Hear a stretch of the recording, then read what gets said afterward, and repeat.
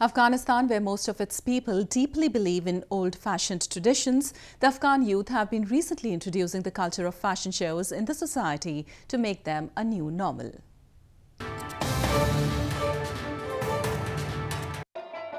Wearing colourful traditional dresses, catwalking women in front of hundreds of spectators, with majority of them men, is not a common sight in Afghanistan. In a bid to bring the change in the country's partially conservative society, a fashion show was recently organized in the historic Babur Garden in Afghan capital Kabul. One of the dozen models who participated in the event, Yalda Haidari, admitted that modeling in her country is a risky profession and needs a lot of courage.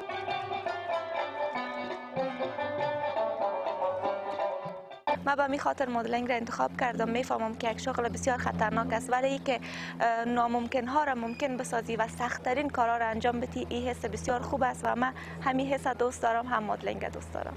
در اوایل خیلی برشان سخت بود ولی حال بسیار خوب شده. حتی می‌تونیم گفته که دخترخانه ما هم جرأتش و اجازه که باید فامیل برش بده اندازه آقایان شده.